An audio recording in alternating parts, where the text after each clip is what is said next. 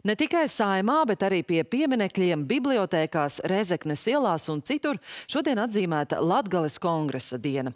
Latgalieši lepojas ar savu mūziku, tāpēc šodien vairākās radiostacijās skanēja latgaliešu mūzika. Vēl Latgales latvieši lolo savu literatūru, tāpēc bibliotekāri plauktos izcēluši latgaliešu dzejnieku un rakstnieku grāmatas. Un vēl Latgalē ciena savas identitātes un kultūras sludinātājus, kas šīs zemes piedarību Latvijai pierādīja pirms 106 gadiem. Šodien viņus varēja iepazīt pārgājienā par Rēzeknes ielām. Turpina Dinija Jemeļjanova. Es parasti aicinu tie, kuri var attīt ar mani pie manas pieminekļa drusku sokuma meditācija. Pārgājiena dalībnieku skaits nav liels, bet raibs. Arī dzīvnieki un mazi bērni. Visus vieno vēlme izzināt Rēzeknes un Latgales vēsturi. Esmu topoša skolotāja, sociāla zinību skolotāja, un es ļoti ceru, ka arī turpmāk skolēniem varēšu šo informāciju nodot. Jaunas emocijas, jaunas zināšanas.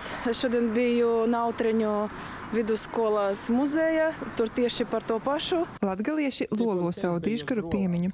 20. gadsimta pirmajā pusē strādājošo sabiedrisko darbinieku vārdā Rēzeknē nodēvētas septiņas ielas. Saskaitīs geogrāfs. Gan jau, ka Trasuns Kemps ir Ansāns Porei, um, Porgojiņa, ir vispār latgaļas varoņi neapzavainotu, ka mēs jūs nudāvātu par influencerim. Noteikti, jo man jo sabiedrisko darbība nav noslēpums, ka Latgolā izseņas uh, bijusi um, katoliska zeme, kur ir um, ticībai, ir baznīcai uh, svarīga nozīme. Proti sociālo tīklu vietā Francis Trasuns un Nikodems Rancāns izmantoja baznīcas kanceli. Viņu un vēl Franča Kempa ielas arī geogrāfiski atrodas teju vai līdzās. Pārsvarā šo Latgales dižgaru vārdos Rēzeknē ielas pārsauca pēc Latvijas neatkarības atjaunošanas. Taču ir arī izņēmumi Nikodamam Rancānam un brāļiem Skrindām. Šāds gods piešķirts jau starpkaru Latvijas laikā. Brāļu Skrindu iela tika pārdēvēta